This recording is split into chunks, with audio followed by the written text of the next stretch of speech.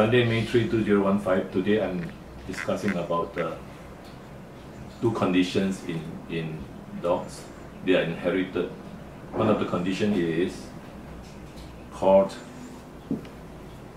umbilical hernia. Umbilical hernia is um, uh, the, the umbilicus did not close after birth. So there's a lump here. You can see the lump. Now, according to the owner, according to the owner, it was very small bulge early on, but now it become bigger. It becomes bigger because the the linea alba breaks, so the muscles uh, split open. So you have this uh, fat, abdominal fat or intestine come out. Now, as you can see, if, you, if, the dog lies down, the swelling is bigger. But this is a small hernia, and uh, if it's about uh, one centimeter, it's best to do a surgery and stitch, up the rectus muscle so that uh, it won't become bigger. So this is a inherited condition from the parents, and uh, this seven-month-old Shih has this called umbilical hernia. Now I'm showing you the other inherited condition. Uh, this one is the, the sibling of the other one, seven months old male also. Now this one, you, you have a retained testicle or undescended testicle.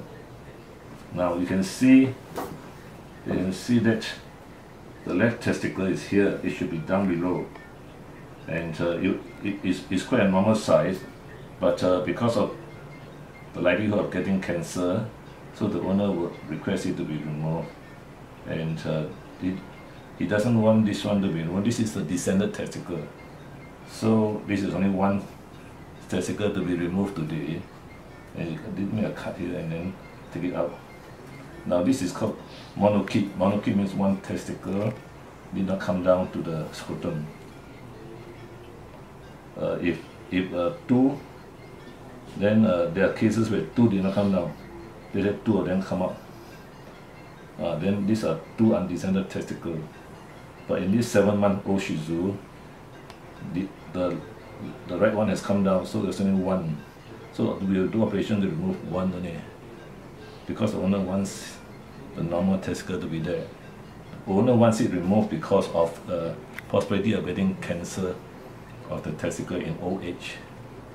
So these are the two conditions of uh, Shih Tzus. Shih Tzus and uh, these are the two conditions quite common in Shih Tzus and they are hereditary so it's best not to not to uh, breed them because they, they will be inherited the umbilical hernia and the undescended testicle. Toa Vets, Singapore.